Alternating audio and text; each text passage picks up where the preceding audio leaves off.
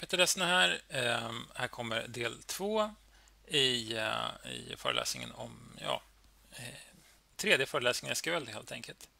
Vi ska prata om hur man kan skapa och ta bort tabeller, även villkor. Man, det här är någonting som ofta görs grafiskt i olika system, eh, så det är inte alltid man skriver den här typen av kod. Eh, men eh, det kan vara bra att kunna. Ni kommer få öva på det här förstås i, i workshop och även i, i eh, labben. Ehm, så framförallt att skapa då tabeller. Alter betyder ändra och drop betyder ta bort. Och det, det roliga här, de här begreppen är väl, är väl egentligen för att de första var ju redan upptagna med alltså, eh, insert, och update och delete. De, de fanns ju redan. Så man fick väl hitta på något annat för tabellerna i sig. Syntax för det här. Eh, jag pratar inte närmare om det just nu. Titta istället på det här spännande exemplet.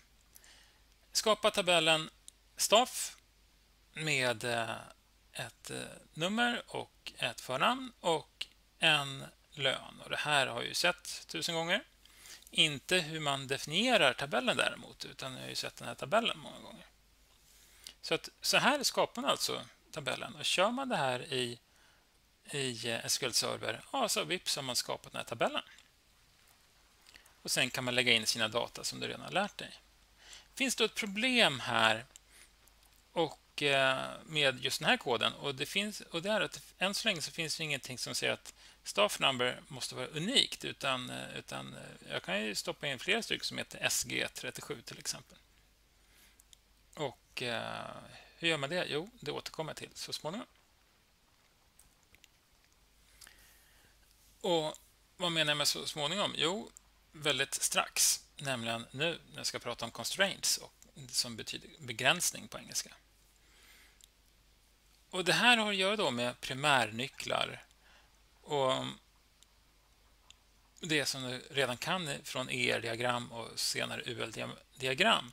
Att du vet att det måste finnas värden där. Och Vad händer då om man försöker stoppa in null? Ja, den typen av, av, av frågor. Ja, då, då, då ska man alltså få ett felmeddelande och den koden ska inte gå att köra. Och Det gör man genom att sätta villkor då i sin tabelldefinition. Och här finns många varianter på det här och därför tycker jag att den här bilden är bra även om det är ganska mycket. Eh, behöver inte titta på alla just nu, men, men eh, de återkommer jag till också. Men just defaultvärden tycker jag är bra. Primärnyckel. Jag kommer också prata om identity så småningom. Eh, och sen references, den är också väldigt viktig. Hur två tabeller hänger ihop.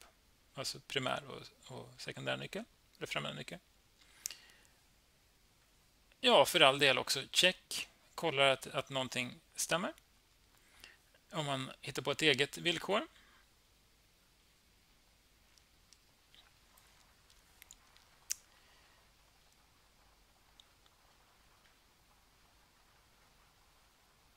Så det här är då första, första sidan här som vi såg var för kolumn och andra för tabeller och de är ganska lika varandra. Mer om det senare. Ja, då börjar vi om. då. Skapa tabellen staff med staff number som primärnyckel och där unika värden krävs för fname. Och det här sista, att, att det bara får finnas en John och så vidare, det är orimligt, men bara för exemplets skull. Först skapar jag tabellen staff med eh, sina olika eh, värden som vi sett förut. Med kolumnnamn. Så lägger vi på två rader här. Primary key, staff number och unique fname. Alltså, sätt staff number till primärnyckel och tala om att förnamnet måste vara unikt. Det är inte mer än så. Det är alltså egentligen inte några konstigheter. Det är återigen bara en syntaxföreläsning, skulle man kunna säga. Och här finns då den här definitionen. Där U i det här fallet står för unik. Så det var allt eh, av det absolut viktigaste där i alla fall. Sen är det så att tabeller kan definieras på två sätt. Antingen skriver man antingen delar man upp, som gjort här, med, med flera rader, eller så skriver man allt på samma rad. Och hur du gör spelar ingen roll.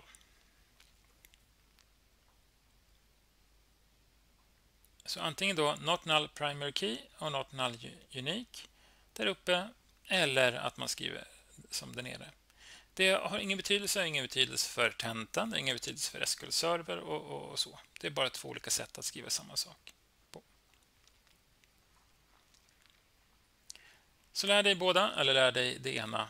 Eh, och eh, ja. Om man har en sammansatt primärnyckel då? Ja, vi har tabellen viewing, alltså visning av, av, av, eh, av olika fastigheter som då har både klientnummer och eh, property number som, som eh, eh, sammansatt nyckel. Det är inte heller konstigt, utan det är helt enkelt två ID som man slår ihop. Primary key, client number, property number. Mm. Sen kan man testa om, om det går att bryta mot det här villkoret. Eh, I det här fallet, som man då eh, kör via, via VT-Schools-varianten, eh, så saknas property number och då går inte det, för då bryter vi mot det. Det skulle bli ett nullvärde i property-kolumnen. Mm. Här kommer ett exempel med främmande nyckel. Och Det här är jätteviktigt eftersom det är det här som knyter ihop eh, era databaser. Foreign key, client number, references, client, client number. Alltså, det får inte finnas något klientnummer i tabellen viewing som inte finns i tabellen klient. Och praktiskt så, ja vad innebär det? här? Jo, vi får kolla. Det här med kardinalitet överhuvudtaget ett till många förhållanden hänger ihop med då primära och, och, och främmande nycklar. Och Det är alltså så här de knyts ihop, alltså i, i själva strukturen. Till exempel, vad skulle hända om man vill ta bort en kund ur tabellen klient? Får man göra det? Och Vad händer då, då med, med kundens rader i tabellen viewing? Mm. Det är alltså det här som primary och foreign key constraints kan avgöra. Och Då finns det något som kallas för referensåtgärder och det är helt enkelt det är ett krångligt ord, men det är helt enkelt vad, händer, eller vad får hända när man försöker ta bort då den här eh, kunden, klienten. Det finns olika varianter. Eh, Defaultinställningen är att det här inte tillåts, som du såg nyss. Eh, nej, det var en annan constraint, men det är samma sak. Resultatet blir detsamma. Det tillåts inte, man får bara ett felmeddelande. Så att du kan inte ta bort den här klienten eftersom eh, den också eh, eftersom den har rader i tabellen Viewing. Det finns lite olika varianter på det här. Jag går inte in på dem just nu.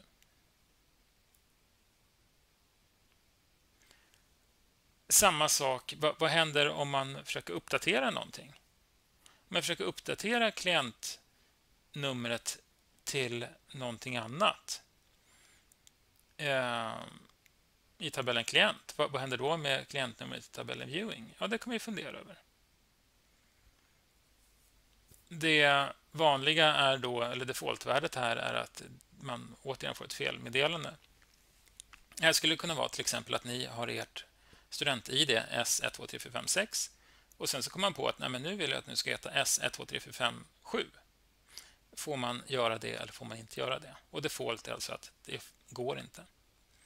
Men det finns andra varianter att lösa det här på. Eh, som jag kanske inte skulle rekommendera generellt.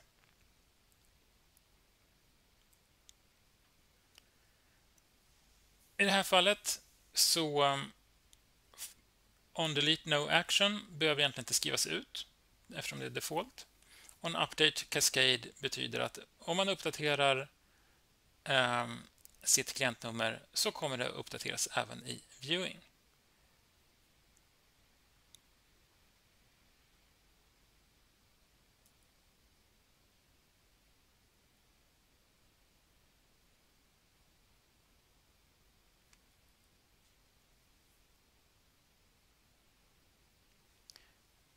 Och som sagt, jag tycker man ska vara försiktig med, med den här typen av, av kod om man inte verkligen vet vad man gör. Man kan också skapa sina egna eh, constraints. Här är ett check. Eh, villkor då som talar om att lönen måste vara minst 5 000 och max 90 000 pund som någon skriver in två miljoner pund i månaden, då, då tycker man att nej, men det, här, det här är orimligt. Och hur ser det ut? Constraint och så döp den till någonting, kolla lön. Check och sen salary och between 5000 and 90000. Det är som vanligt i SQL att det är i princip engelska. Man ska bara veta vad man ska skriva. Eh, när, man väl kan när man väl läser koden så ser den ganska enkel ut. Så. Ett eget constraint, som i det här fallet går ut på att man ska titta på lönen och att lönen får, måste vara minst 5 000 och max 90 000.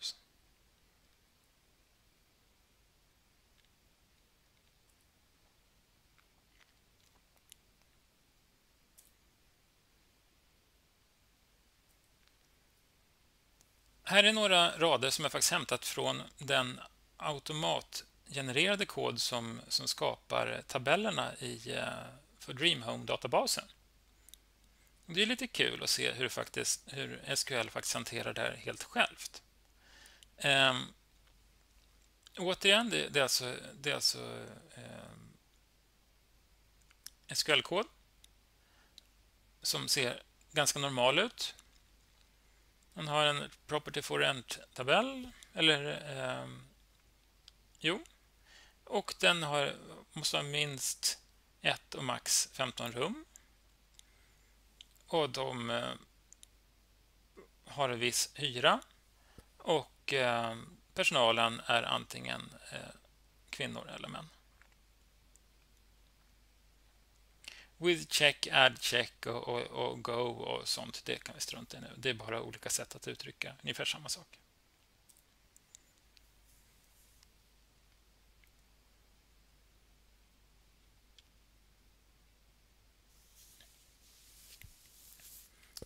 Precis som, som vi såg förut så kan man skriva de här eh, constraints på olika sätt, antingen på raden det tillhör eller längst ner.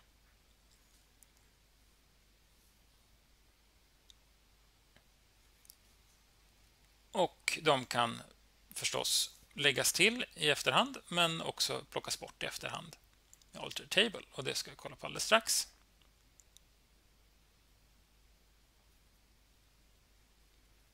Och sen som jag var inne på, det var det här att eh, default är alltså att ingenting får hända. Som när eh, Cascade och så vidare, det, det är undantagsfall skulle jag säga.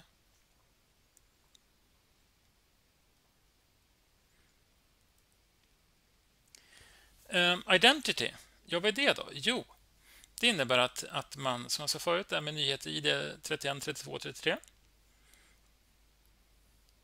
det är väldigt smidigt. I er uppgift så kommer ni få eh, SQL-uppgift så kommer ni att få arbeta med det.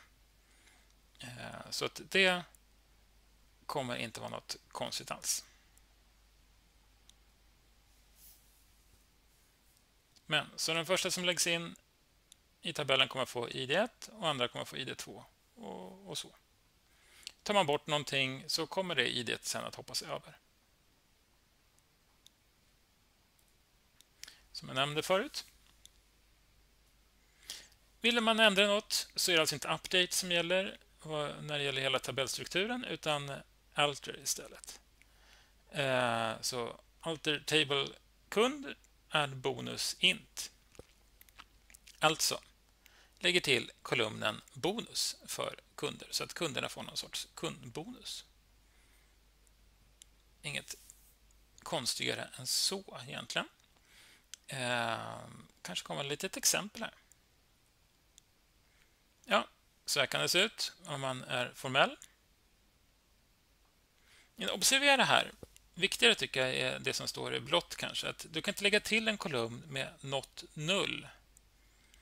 Alltså när man måste fylla i ett värde i en tabell där det redan finns rader inlagda om den nya kolumnen saknar defaultvärde. För då, då, blir ju, då blir det ju noll för de existerande värdena, så det, det, funkar inte. Det får man göra det två steg. Så att man, kan, att man först fyller i alla, eh, kolumn, eh, alla kolumnens poster med, eller alla existerande poster eh, kan man göra och sen kan man göra det här. Eller att man först har att null får tillåtas och sen väljer att null inte får tillåtas.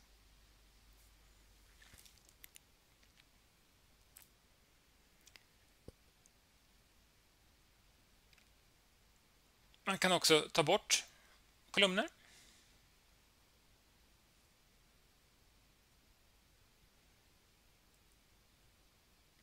I det här fallet då har jag lagt till en kolumn i tabellen staff. Alter table staff add salary int. Ja, ny kolumn. Och den får också vara null eftersom det inte finns någon null constraint. På den här bilden ses istället hur man har ett defaultvärde för kolumnen salary. Eh, det vill säga, när man lägger till den så får alla per default 5000 i lön. Det normala är väl att man sätter en nolla om man alltså har ett defaultvärde för en integer. Ehm, man kan också ta bort kolumner. Alter table staff drop column salary. Så drop column betyder alltså ta bort den här kolumnen. Och så försvann den.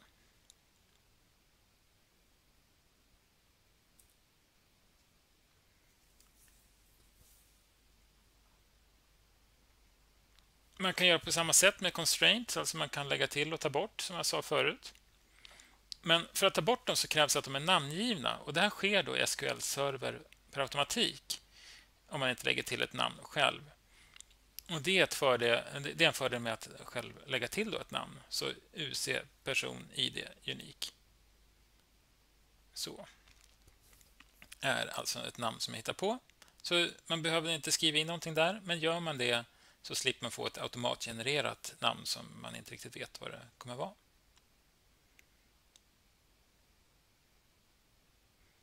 Som vi ser här på bilden så är det sen väldigt lätt att ta bort samma constraint.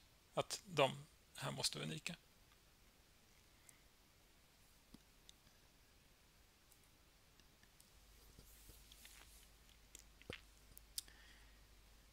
Man kan ta bort en hel tabell. Drop table och sen tabellnamnet. Och Då är det alltså inte bara eller tabellstrukturen utan också alla data som försvinner. Så drop table customers, det är väl det vanligaste man skriver om man är en evil hacker. Så försvinner tabellen. Lätt som en plätt. Ta bort tabellen staff, drop table staff. Och då i det här fallet så lyckligtvis då så, så um, om man har andra, andra saker som refererar till där så funkar inte det. Men tar man bort den så försvinner den och sen försvinner staff. Så var förstås naturligtvis väldigt försiktiga med det här. Sen är det så att på grund av eh, foreign key constraints så kan man inte lägga till eller ta bort tabeller hur som helst. Man kan inte lägga till en tabell som refererar till ett ID som inte finns. Och Man kan inte heller ta bort en tabell om det finns en primärnyckel som används i en annan tabell. Eh, så eh, därför, om du håller på att jobba med att eh, lägga till och ta bort tabeller som till exempel er uppgift senare. Så tänk så här, skapa tabeller utifrån och in och ta bort dem inifrån och ut. Och vad menar jag med det? Jo, Eh, vi kan inte skapa tabellen kvitto som då innehåller information om kund och butik om det inte finns om det inte finns eh, en butik och en kund, helt enkelt. Och, man kan inte, och, och de andra funkar på ungefär samma sätt. Men alltså, det, det går inte att skapa ett kvitto som innehåller butiks-id och, och kund-id om det faktiskt inte finns någon butik och kund. Så därför så skapar de yttre tabellerna först, eller de som inte har kråkfoten. Och sen kan man inte ta bort kund eller butik därför att då finns det en massa kvitton som refererar till de här butikerna eller kunden. Så därför så eh, gör då åt andra hållet, alltså ta bort de innersta först. Så lägg till utifrån och in, ta bort inifrån och ut. Det sista jag ska tala om idag är väl vyer. Och vad är det då? Jo, det är en selektfråga som har namngett och sparat undan. Och som kan, som kan eh, Eh, se ut på lite olika sätt. Och så finns det ett antal restriktioner. Men det intressanta med de här, det är väl vad som kommer på nästa bild. Jo, eh, vissa frågor använder man väldigt mycket fast med lite olika villkor. Och Då kan man tycka att det känns smidigt att använda en vy för att slippa skriva fel. Men viktigare tycker jag personligen, det är att man kanske ska dela en databas med någon utomstående person eller myndighet eller någonting. Och att de ska inte ha tillgång till ens hela databas. Då kan man lägga det som användaren ska kunna se eller använda i en vy. Och Sen kan man se till också i till exempel Management Studio att, att eh, folk får olika rättigheter så att man inte kan komma åt all information. Och Det är alltså vad man kan ha de här vyerna till. Det här känns kanske lite som om det inte är det absolut viktigaste, men jag tycker ändå att det kan vara intressant att, att känna till hur det fungerar. Eh, här är en bild om hur det går till i Management Studio. Jag hoppar över den. Att skapa det här är inte svårare än att skapa en tabell. Det är samma princip. Create view och så vyns namn. Um, hur kan det här se ut? Jo, skapa en vy client viewing med kolumnerna client client number och fname och property number och view date. Så med andra ord, skapa en vy som alltså hämtar de här olika värdena. Som alltså, vyn är alltså samma sak som selektsatsen om jag uttrycker det på det sättet. Vi sparar alltså undan den här select-satsen. Så istället för att man varje gång ska skriva in eh, select client number blah, from blah, where blah, så, så anropar man bara sin eh, vy.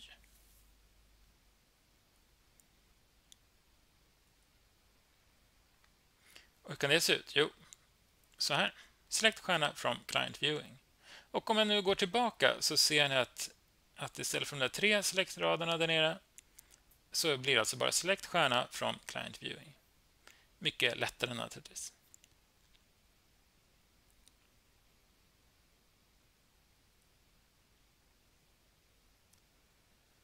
Här finns ett kul eh, where-villkor. Eh, och eh, som jag sa, så allting som har med vyn att göra, det ligger alltså i första raden och resten är en select-sats. Här är då resultatet.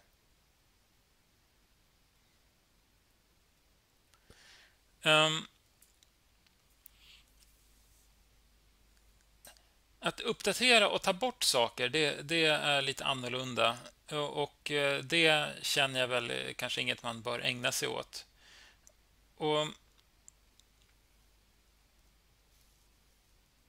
man kan läsa mer om det här i boken om, om, man, om man så önskar. Men, men som sagt, eh, vyerna är väl framförallt till för att välja, eh, hämta värden. Så fin, det finns också någonting som heter with check option som också känns lite överkurs, tycker jag. eh, innebär att samtliga operationer, då, eh, olika insert, update, delete, som medför att rader försvinner. Vad innebär det? Jo, att, att det inte längre är samma antal rader som, som hämtas. Eh, de kan då vara otillåtna om man vill. Det här ser man ganska ofta i SQL-kod och här är ett exempel. Man får inte uppdatera antalet, eh, eller man får inte uppdatera sitt where-villkor hur som helst därför att samma rader skulle inte synas i resultatet. Eh, men men det hade kunnat fungera om det hade stått select stjärna eller någonting sånt därför att villkoret hade varit annorlunda. Återigen, jag vill inte riktigt eh, lägga ner för mycket möda på just with check option därför att det känns som ganska mycket överkursen då.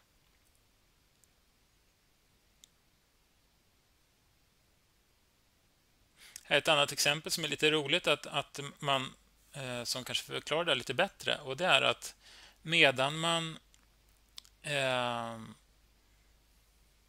medan man minskar folks löner här eller någonting eh, och med tusen. Set amount är lika med amount minus tusen. Och det går ju bra ända fram till dess att amount är mindre än 20 000 enligt vårt villkor. Och i och med att det då returnerar ett färre antal selektsatser än tidigare så, så eh, får man inte eh, göra det längre då i den här vyn. Man kan ändra de här vyerna också.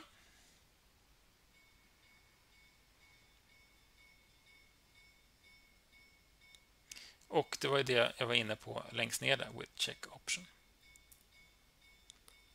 Ehm, men som sagt, det viktiga med vyerna är väl att kunna skapa dem, alltså normala selektfrågor. Sen är det också så att eh, man kan ta bort dem förstås, en vy. Drop view, precis som drop table. Och det här är väl sammanfattningen för hela föreläsningen kan man säga. Ja, i alla fall stor del. Ehm, just när det gäller att, att, eh, att eh, den här delen av föreläsningen, just att lägga till och ändra och ta bort antingen tabeller, kolumnnamn eller vyer. Workshop SQL 3. Ja, dels eh, lite skåpmat, saker som du kan sedan tidigare.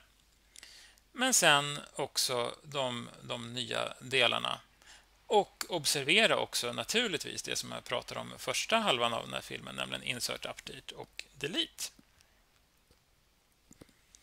I och med det så är det också dags för inlämningsuppgiften i SQL.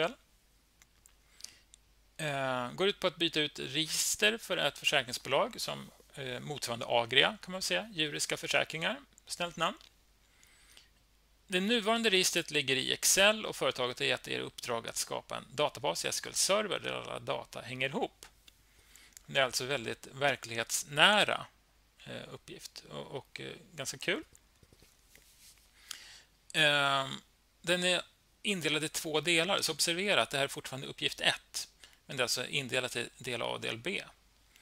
I den första delen, alltså del A, så skapar tabeller, importerar data, kör lite selektsatser och, och så. Mest bara för att se att du har gjort rätt. I andra delen så utökar systemet lite grann och eh, kör lite annan sån här kod och, och också lite annat nyttigt som till exempel skapa en textfil och, och, och, titta mer på hur man använder en databas i praktiken. Så jag tycker det är intressant med det vi kallar för professionsanknytning, alltså hur, hur saker faktiskt funkar i praktiken. Ehm, dela inte upp uppgifterna mellan er i gruppen, utan gör alla uppgifter. Det finns en, en pedagogisk tanke med att ni ska få nosa på allting om, om ni gör alla uppgifter. Eh, undantaget gäller att skapa eh, tabellerna därför att det, det, går till på samma sätt hela tiden. Så, och I och med att det är jag vet inte, 7-8 tabeller kanske så, så kan det kännas lite långtråkigt. Så det tycker jag absolut att ni kan dela upp mellan varandra så att det inte blir så mycket för er. Bra! Eh, med detta...